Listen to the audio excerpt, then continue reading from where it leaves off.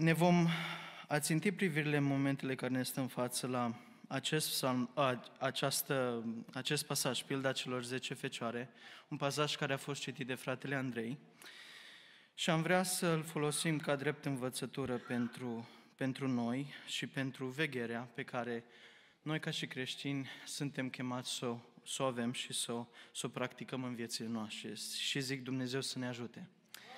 Până acum am uh, privit la pildele Domnului nostru Isus Hristos referitoare la împărăția lui Dumnezeu din Matei, din cartea Matei. Și ne uitasem la uh, pildele care um, începeau cu aceste cuvinte. Împărăția celor se aseamănă sau împărăția celor se mai aseamănă cu. Astăzi, prin ajutorul Domnului, am ajuns la Matei, capitolul 25, unde cuvântul Domnului arată pilda celor 10 fecioare. Și este prima pildă din cartea uh, Evanghelistului Matei, care de fapt vorbește despre viitor.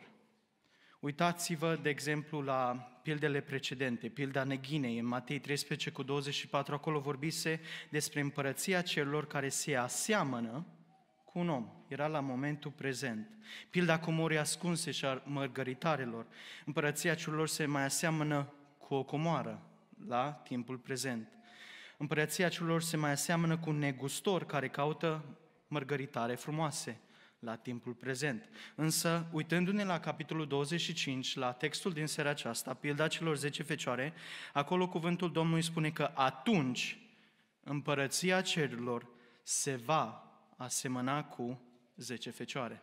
Timpul este la viitor și de aceea este important să ținem cont și de acest detaliu, pentru că necunoscutul de acum va deveni un cunoscut atunci. Multe din lucrurile pe care poate noi nu le putem înțelege în acest pasaj vor, vor avea o însemnătate aparte la venirea Domnului. Și zic, Doamne, ajută-ne să ajungem acolo. Mai departe, pilda talanților, din, tot din același pasaj, care este următoarea pildă, vorbește la viitor asemenea. Împărăția celor se va asemăna. Având toate acestea, uh, având acest lucru în, în minte, aș vrea să ne uităm și la uh, diferența între păcatul comiterii și păcatul omiterii. Atunci când un om comite o crimă, el are aceste două aspecte, mens rea and actus rea. El are um, acea, uh, acea capacitate mentală sau componentul acela mental că el vrea să comită o crimă și o face. Însă, um, când este vorba de păcatul omiterii, este când nu faci un lucru pe care tu trebuia să-l faci. Uitați-vă în 1 Corinteni, capitolul 6 cu 9. Acolo este un pasaj biblic care ne vorbește despre păcate care sunt comise. Nu vă înșelați în privința aceasta nici curvarii, nici închinătorii la idoli, nici prea curvarii, malahiții, sodomiții, nici hoții, lacomii, nici bețivii, defăimătorii hărpăreții, nu vor moșteni împărăția cerurilor. Deci trebuie ca acești oameni să, să se angreneze într-o comitere a acestor fapte pentru ca ei să nu ajungă în împărăția lui Dumnezeu. Acesta este păcatul comiterii. Și, de pildă, dacă ne prinde un păstor sau un lider din biserică, practic, sau comițând aceste păcate, Desigur, există un efort al reabilității, există o disciplină și potențial o excludere a acelui membru din, din societatea bisericii.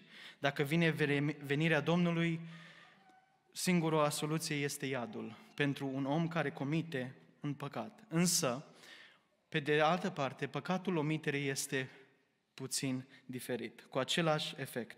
Uitați-vă, de exemplu, în Matei, capitolul 25, um, la versetul 25 cu 26, dacă n-am greșit referința, pilda talentului. Aduceți-vă aminte că erau cinci talanți care a fost dat unui om. Acel om l-a pus acești cinci talanți în negoț, au câștigat cu acești cinci talanți alți cinci talanți și Domnul, uh, stăpânul spune, bine, rob bun și credincios, vină în odihna stăpânului tău. Vedem doi, un alt om care este dat doi talanți, acest om uh, câștigă și el doi talanți mai departe și are același aceeași binecuvântare. Bine, rob bun și credincios, intră în împărăția Tatălui. Și este un om care primește un talent. Și acolo spune în versetul 25 că mi-a fost teamă, spunea el, și m-am dus de ți-am ascus talentul în pământ. Iată ce este al tău. Acesta este păcatul omiterii. El n-a făcut ceva rău cu banii aia, n-a făcut, n-a făcut o crimă cu banii aceia, n-a, n-a cumpărat ceva ce nu trebuia sau ceva care nu era moral, ci omul acesta a comis păcatul omiterii. Uitați-vă Matei 22, pilda anunții fiului de împărat. Cei poftiți la masă nu păcătuiesc într-un mod direct împotriva păcatului, ci omite invitația împăratului. Nu merg la nuntă. Uitați-vă, de exemplu, la cel care a fost găsit îmbrăcat cu o haină nepotrivită atunci când a intrat la masă. Ce a făcut omul acesta? A omis de a se îmbrăca corespunzător. De aceea, uh, păcatul omiterii este foarte, foarte periculos, pentru că, deși nu este văzut în public, ea poate fi, poate fi un păcat uh, și este un păcat care ne uh, exclude accesul în rai. De aceea vedem în biserică oameni care nu se implică, oameni care poate nu fac voia lui Dumnezeu uh, în viața lor, cu talentul pe care Dumnezeu le-a făcut și atunci în ziua aceea se vor mira că nu vor putea intra în cer. Pentru că Dumnezeu i-a chemat la ceva și ei au omis să împlinească acel ceva în viața lor. Dumnezeu să ne dea înțelepciune. De aceea și, uh, și, și uh, pilda aceasta, pilda celor 10 fecioare, adresează același păcat, nu păcatul comiterii, ci păcatul omiterii. Cinci fecioare înțelepte care, sau nechipzuite, pardon, care au omis să ja unde lemn în vase. Învățătura de bază astfel este vegherea.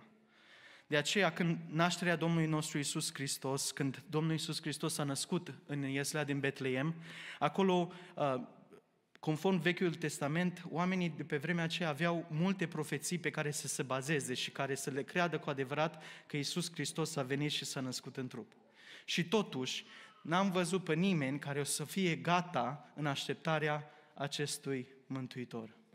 A venit Isus Hristos din cer. Dacă vă gândiți la astronauți, a, a aterizat și americanii pe lună. Nu a fost acesta cel mai mare eveniment. A fost acela când a venit Isus Hristos din înălțime și a aterizat pe pământ, slăvit să fie Domnul. Atunci când El s-a întrupat și nimeni n-a cunoscut. Cu toate aceste prorocii, nimeni nu și-au dat seama. Uitați-vă în Matei, în Isaia, pardon, versetul 7 cu 12, 14. Domnul însuși îi va da un semn. Iată, fecioara va rămâne însărcinată. Și ce i-a spus la Maria? Tu, care poate ai, ai, um, ai dormit Uh, cu, cu logodnicul tău, în Mica 5 cu 2, și tu, Betlaeme Efrata, măcar că ești prea mic între cetățile de căpătenie a lui Iuda, totuși din tine îți va ieși cel ce va stăpâni. Profeții care oamenii le cunoșteau, însă nu erau nimeni gata pentru prima venire a Domnului. Acum ne uităm la a doua venire a Domnului Isus Hristos și Isus ne spune în Matei 24 cu 36, despre ziua aceea și despre ceasul acela nu știe nimeni, nici îngerii din cer, nici Fiul și nici, uh, ci numai Tatăl, ci numai Tatăl. Dacă majoritatea ne-au știut pe, uh, timpul când va veni Isus Hristos la prima, prima venire a Lui, la nașterea Domnului, at- cu atât mai mult nu va ști când va veni a doua oară, pentru că nici, nici uh, Fiul nu știe lucrul acesta. Dar, spune Isus Hristos așa de frumos în versetul 42, vegheați, dar pentru, ca să, pentru că nu știți în ce zi va veni Domnul nostru. Avem această datorie, noi ca și oamenii lui Dumnezeu, să veghem, pentru ca venirea Lui să nu ne cuprindă pe neașteptate. Și zic Dumnezeu să ne ajute. Amin.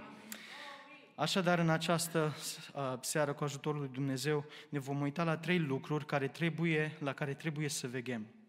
Sunt trei lucruri la care trebuie să avem mare atenție în așteptarea mirelui. Și aceast, acestea sunt. Trebuie să veghem, în primul rând, în privința sfințeniei, în privința curățirii și în privința plinătății Duhului Sfânt. Și zic Dumnezeu să ne binecuvinteze la toate. Amin. În primul rând, trebuie să veghem în privința Sfințeniei. Matei 25 cu 2, textul nostru. Atunci împărăția celor se va asemăna cu 10 fecioare.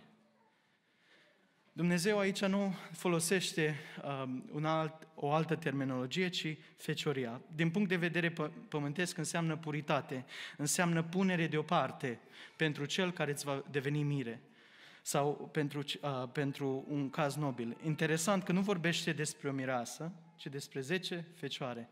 Erau acestea domnișoare de onoare. Și atunci uh, aceste 10 fecioare um, ilustrează creștinii uh, acei oameni care se, se cheamă creștini, care se numesc creștini. Fecioria, din punct de vedere spiritual însă, o putem uh, înțelege prin conceptul acesta nașterii din nou. Uitați-vă, uh, nașterea din nou fiind această curățire de pecat pe care Dumnezeu o face în dreptul unui om. Uitați-vă în Ieremia 3 cu 6.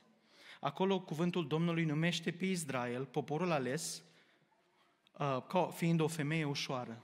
Uitați-vă acolo, Ieremia 3 cu 6. Domnul mi-a zis pe vremea împăratului Iosia, ai văzut ce a făcut necredincioasa Israel? S-a dus pe orice munte înalt și sub orice copac verde și a curvit acolo. Erau poporul lui Dumnezeu și totuși Dumnezeu îi numește astfel.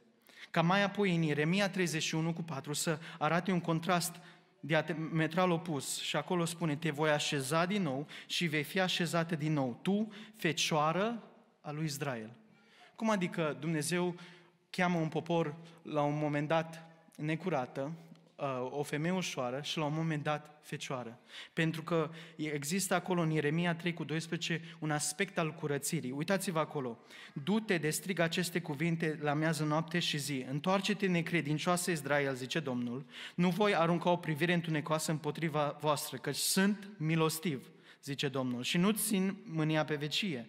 Recunoașteți numai nelegiuirea, ne recunoaște că ai fost necredincioasă Domnului, că ai alergat încoace și încolo la Dumnezei străini sub orice copac verde și că n-ai ascultat glasul meu, zice Domnul. Vedeți, noi toți ne-am născut uh, păcătoși, noi toți eram departe de Dumnezeu, eram cu o feciorie pierdută înaintea Domnului. Însă, spiritual vorbind, Dumnezeu a fost acela care s-a îndurat ne-a spălat de păcatele noastre. Suntem născuți din noi și El, prin al Lui sânge, noi suntem justificați înaintea Tatălui. Slăvit să fie Domnul! Aceasta este fecioria pe care Dumnezeu vrea să o avem și atunci când vom veni când va veni pe nord de slavă. De aceea, 1 Corinteni spune așa de frumos, nu știți că uh, cei nedrepți nu vor moșteni împărăția lui Dumnezeu? Ei sunt acolo, nici curvare, nici idol, închinătorii la idol, nici prea curvare, nici toți acești oameni nu vor moșteni împărăția lui Dumnezeu. Versetul 11. Și așa erați unii din voi, dar ați fost spălați, ați fost sfințiți, ați fost curățiți, ne, neprihăniți în numele Domnului Isus Hristos și prin Duhul lui și prin Duhul Dumnezeului nostru. Amin. Slăvit să fie Domnul. El este acela care ne-a spălat. Și, precum spune 2 Corinteni 7 cu 1, să ne curățim de orice întinăciune a cărnii și a Duhului și să ne ducem sfințirea, aceea care am primit-o în nașterea din nou, până la capăt. Filipeni 2 cu 12. Duceți-vă până la capăt mântuirea voastră cu frică și cu, cu tremur. Și zic, Doamne Dumnezeule, ajută-ne la aceasta. Cum stăm noi oare la capitolul Sfințeniei? La capitolul acesta Sfințeniei? Mai veghem noi la aceasta. Sunt lucruri oare pe care noi le-am considerat păcat mai devreme, atunci când ne-am întors la Dumnezeu, și nu din lipsa necunoștinței, ci acum le vedem ca un lucru poate pe care e, sunt ușor de luat și ușor de manevrat. Nu mai avem acea sensibilitate. Uitați-vă la Iov, un om care a adus jertfă pentru fiii lui atunci când erau, uh, când se întâlneau unii cu alții, dacă cumva au păcătuit înaintea Domnului. Noi nu trebuie să aducem jertfă, că s-a jertfit Iisus Hristos, slăvit să fie Domnul. Dar când a fost ultima dată, oare, când am mers în post și în rugăciune, rugându-ne, Doamne, îndură-te și de mine, învăț starea mea păcătoasă, te rog frumos, dă Tu har și biruință. Când a fost ultima dată când am făcut lucrul acesta? Uitați-vă la Lot, în 2 Petru 2 Cop spune că acest om și-a chinuit sufletul din cauza nelegiuiților din jur. Oare ne mai doare pe noi păcatul care ne înconjoară? Oare suntem noi sau am devenit oameni care deja ne-am, ne-am, ne-am, uh, com, com, uh, ne-am we merged together, ne-am, ne-am uh, adunat împreună cu cei nelegiuiți de, de lângă noi? Dumnezeu să ne dea binecuvântare și înțelepciune în sensul acesta. În al doilea rând, trebuie să vegem nu numai în aspectul sfințeniei, ci în aspectul credinței. Uitați-vă în versetul 2. Atunci împărăția cerurilor se va semăna cu zece fecioare care și-au luat candelele și au ieșit în întâmpinarea mirelui. Aceste zece fecioare credeau că mirele vine și datorită credinței pe care ele le aveau în suflet și în inimă, ele au intrat în acțiune și s-au pregătit, au luat candelele. De aceea, credința însoțită de fapt, ă, credința este evidențiată prin fapte. Oare mai credem noi că Isus Hristos revine? Uitați-vă în Matei, în Luca, pardon, 12 cu 42. Ispravnicul credincios, un pasaj frumos și voi da citire. Și Domnul a zis, cine este ispravnicul credincios și înțelept? Interesant, folosește aceeași aspect a feciorii înțelepte din pasajul nostru, pe care îl va pune stăpânul său peste slugile sale, ca să le dea partea lor de hrană la vremea potrivită. Versetul 43. Ferice de robul acela pe care stăpânul, la venirea lui, îl va găsi așa. 44. Adevărat vă spun că îl va pune peste toată avuția sa, dar dacă robul acela zice în inima lui ce? Stăpânul meu zăbovește să vină. Și vedem, poate pe lângă noi, și nu este de mirare să vedem oameni care odată au crezut în Dumnezeu și în Isus Hristos și a Lui revenire, că nu mai cred. Nu mai cred. Uitându-se în lumea din, din prejur, ei nu mai cred că Isus Hristos va reveni. Întârzie ceva se întâmplă, poate n-a fost adevărat. Și își neghează această credință. Și din momentul în care vine această necredință, uitați-vă ce, la ce duce, la desfrâu, versetul 46. Stăpânul robului acelui va veni în ziua în care el nu se aștepta și în ceasul în care el nu știe și îl va tăia în bucăți. Pentru că el a început să mănânce și să bea și să se îmbete un om care n-a mai crezut în revenirea mirelui, un om care n-a mai crezut în revenirea stăpânului și a devenit să se îmbate, să intre în desfrâu și rezultatul lui, acestui om, a fost distrugerea lui. Necredința față de revenirea mirelui. Mai credem noi astăzi că vine Isus Hristos? Aceste ficioare au avut această deplină încredințare că mirele va veni. Și de aceea a început la acțiune. Aș vrea să vă întreb, credeți că Isus Hristos revine pe nori? Amin, amin. Credem noi, ca și Biserică Pentecostală, că Isus Hristos va veni? Amin. Știți care este lucrul cel mai vizibil sau evidența pe care, care de fapt ne, ne evidențiază sau evidența care ne spune că Isus Hristos revine și că noi așteptăm și credem lucrul acesta? Faptele noastre. Pentru că faptele noastre, de fapt, um, um, arată credința pe care noi avem în inimă, o exteriorizează din, dinăuntru nostru. Uitați-vă, de pildă, um, la, la aceste zece fecioare. Ele au crezut și au început să, să se gătească, să-și pună, să aducă o candelă și să se pregătească pentru acest eveniment. Este un lucru esențial, să credem și credința noastră să fie evidențiată prin fapte. Acum, uitați-vă la un, um, un aspect destul de interesant și profund. În Matei, capitolul 9 cu 14, textul acela vorbește despre scopul postului nou testamental. Și ne arată, într-un fel, că în Vechiul Testament postul a avut un, un, o, o semnificație aparte de cel din Noul Testament. Și în Matei, capitolul 9 cu 14, acolo spune, ucenicii, atunci ucenicii lui Ioan, a venit la Isus și i-au zis, de ce noi și farisei postim des, iar ucenicii uh, tăi uh, nu postez deloc? Versetul 15, Iisus le-a zis, se pot jeli nuntașii câtă vreme este mirele cu ei, câtă vreme sunt eu cu ucenicii mei? Se pot oare ei jeli? Vor veni însă zile când mirele va fi luat de la ei și atunci vor posti. Nimeni nu pune un petic pe postav nou, adică la post se referea, la o haină veche, pentru că și-ar lua umplutura din haină și ruptura ar fi mai rea. Niciun uh, nu pun oamenii vin nou în burdufuri vechi, altfel uh, burdufurile plesnesc, vinul se varsă și burdufurile se prăbădesc. Ci vinul nou îl pun în burdufuri noi și se păstrează amândouă la fel. Vedeți? Un, un post vechi și un post nou.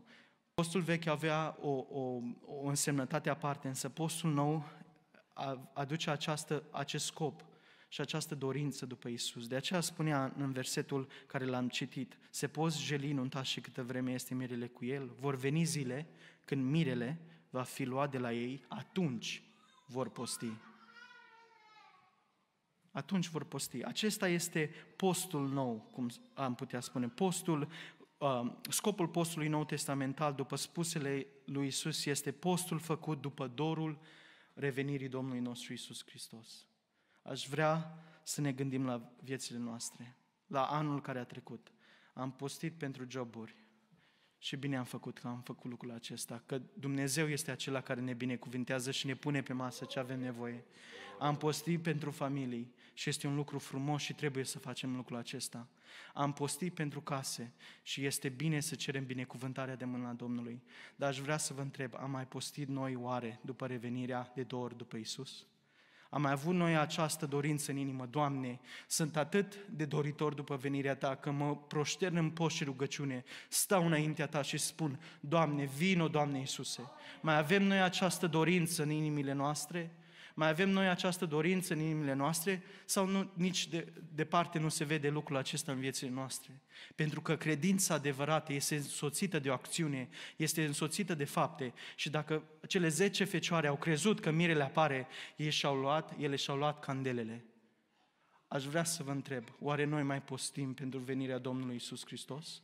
Oare mai dorim noi cu arzătoare venirea Domnului nostru Isus Hristos? O, Doamne, curățește-ne, iartă-ne și ajută-ne să ne dorim cu adevărat și prin fapte și prin credință. Lucrul acesta, venirea Ta, amin. amin. În al treilea lucru, pe lângă faptul că noi trebuie să veghem asupra, asupra, um, asupra sfințeniei noastre, asupra fecioriei, cum am spus, pe lângă faptul că noi trebuie să, să veghem asupra credinței noastre și prin această credință să se vadă un fapt, o, o lucrare, noi trebuie să mai veghem în al treilea rând pentru plinătatea Duhului Sfânt. Și aici este acel aspect al undelemnului în vase. Uitați-vă în Matei 25 cu versetul 3, acolo spune lucrul acesta. Cele nechipzuite când și-au luat candelele, n-au luat cu ele un de lemn. Versetul 4, dar cele înțelepte împreună cu candelele au luat cu ele și un de lemn în vase. Acum, ce reprezintă acest un de lemn? Unii vor spune că un de lemnul înseamnă bucurie și dragoste. Alții spun că, precum Origen, că în delemnul sunt faptele bune care reprezintă dărnicia față de cei nevoiași. Alții spun că un delemnul este cuvântul de învățătură. Alții um, ca și Simon Christmaker, uh, în cartea lui, de fapt, se reține de a interpreta uh, însemnătatea undelemnului. Și cea mai vizată este interpretarea lui Luther, care spunea că undelemnul este de fapt și reprezintă Duhul Sfânt. Și această interpretare are un argument biblic, și anume 1 Samuel, capitolul 16, versetul 13. Samuel a luat cornul cu un de lemn și l-a uns în mijlocul fraților lui. Duhul Domnului a venit peste David începând din ziua aceea. Un de lemnul reprezentator al Duhului Sfânt. Acum vor fi argumente pro și contra. Unii oameni vor spune, da, cum poți să spui lucrul acesta? Unde lemnul să reprezinte pe Duhul, pe Duhul Sfânt, când colo în uh, versetul 9 spune, că cele înțelepte au zis, ă, nu vă dăm niciun de lemn, ca nu cumva să ne ajungă nici nouă, nici vouă, ci mai bine duceți-vă la cei ce vând un de lemn și cumpărați-l. Cum adică un de lemn nu să fie plinătatea Duhului Sfânt, când uh, aici spune în această pildă că un de lemnul poate fi cumpărat. Doar nu scrie în fapte apostol, uh, apostolilor, capitolul 8, versetul 14, despre Simon, un om care a văzut că Duhul Sfânt era dat prin punerea mâinilor, le-a dat bani ucenicilor și a zis, dați-mi și mie puterea aceasta pentru că peste oricine îmi voi pune mâinile să primească Duhul Sfânt. Uitați ce zice Petru. Banii tăi să piară împreună cu tine pentru că ai crezut că darul lui Dumnezeu, adică Duhul Sfânt, s-ar putea căpăta cu banii. Și este un argument cu o anumită greutate în el. Însă, am vrea să nu uităm lucrul acesta, că atunci când interpretăm anumite uh, și în special pildele pe care Domnul Isus Hristos le redă în cuvânt, nu le putem interpreta în fiecare detaliu. Aduceți-vă aminte ca un exemplu de acea pildă pe care Samuel îi spune lui David în Vechiul Testament. David păcătuise cu Beceba și vine Samuel prorocul înaintea lui David și spune acea, acea pildă. Bogatul, reprezentând pe David, uh, săracul reprezentând pe Urie, mielușaua reprezentând pe cine? Pe Beceba și mai rămâne cineva, călătorul. Cine e călătorul? Vedeți, nu putem să luăm o pildă și să să luăm fiecare parte din acea pildă și să le dăm o însemnătate. De aceea este important să ne uităm la, la întreaga imagine a unei pilde, la întregul mesaj, la mesajul care este covârșitor. De aceea pilda descrie unde lemnul Duhul Sfânt. Nu înseamnă că putem merge la extrem în a interpreta fiecare detaliu pe, uh, despre acest unde lemn Duhului Sfânt. În Isaia 55 cu 1, și vă voi da acest argument biblic, spune, voi toți cei însetați, veniți la ape, chiar și cel ce nu are bani, veniți și cumpărați bucate. Veniți și cumpărați vin și lapte, fără bani și fără plată. În alte cuvinte, Dumnezeu zice, ești împovărat de starea ta, vino la mine, cumpără, dar cumpără fără plată și ți se va da. Aici este, de fapt, înțelesul acestui, acestui lucru a, a cumpăra înseamnă a intra în posesiunea vieții trăite în puterea lui Isus Hristos. Așa spunea Isaia 55 cu 1. Așa spunea Dumnezeu. Vrei, ți sete, vino și cumpără apă, dar fără plată. Intră în această posesiune. Știu că n-ai bani și nu-ți cer. Cumpără fără plată. Intră în această posesiune. Și atunci, gândindu-ne la Matei 25, pilda celor 10 fecioare, dacă cineva spune că unde lemnul uh, nu poate fi însemnătatea Duhului Sfânt, pentru că nu-L putem cumpăra, Duhul Sfânt, putem folosi lucrul acesta. Și anume Isaia 55 cu 1. Dumnezeu spune să intrăm în posesiunea Lui, de aceea spune în a cumpăra. Și zic Dumnezeu să ne binecuvinteze. Noi trebuie ca oameni al lui Dumnezeu să fim plini de Duhul Sfânt. Cele zece fecioare înțelepte au fost niște uh, fecioare înțelepte care și-au pus un de lemn în vase și zic Dumnezeu să ne binecuvinteze și pe noi la aceasta. Și aș vrea să continui cu a face câteva diferențieri. Atunci când vorbim despre torțe sau făclii, când vorbim despre un de lemn în candelă și un de lemn în vase. Și voi fi specific. Uh, cu toții știm torțele sau făcliile. Sunt uh, un, uh, o metodă prin care oamenii uh, folosea în Vechiul Testament sau în, în istorie pentru a se deplasa în locuri de afară, nu în case, ci dacă mergeau în câmp pe timp de noapte, ei foloseau torțe, ei foloseau făclii. De aceea erau aceste uh, bote de lemn uh, lungi, um, velite cu material, combustibil și astfel ei le dădeau foc pentru a vedea lucrurile mai bine. Și în Ioan 18 vedem lucrul acesta, că atunci când fariseii și garda romană a venit să-l, să-l aresteze pe Iisus în grădina Ghețimani, ei au folosit făclii. Deci erau lucruri pe care acești oameni um, le folosea făcliile în exterior, nu în, în casă, ci în, în afara casei, pentru a vedea lucrurile care se întâmplă afară.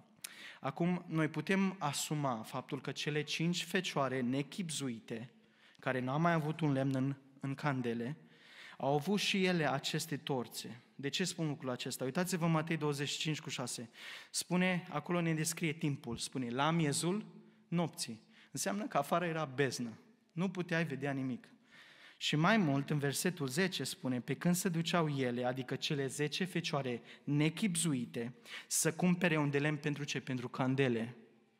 A venit mirele, înseamnă că ele au plecat cu niște făclii, că nu putea să meargă niște, cu niște candele care de-abia mai pâlpiesc, să meargă afară să vadă un lucrurile și să-și cumpere un de lemn. Ele au trebuit să folosească torțe, să folosească făclii. De aceea este important să facem acest, acest, această diferențiere. Fetele sau fecioarele acelea care erau nechipzuite și nu mai aveau un de lemn în vase, nu mai aveau un de lemn în vasele mici care le puteau ține în casă. Și aceasta este un lucru demn de observat. Atunci când vorbim de un de lemn în vase, uitați-vă în versetul 4, la cele uh, cinci fecioare înțelepte. Dar cele înțelepte împreună cu candele au luat cu ele și un de lemn în, în candele? Nu, în vase.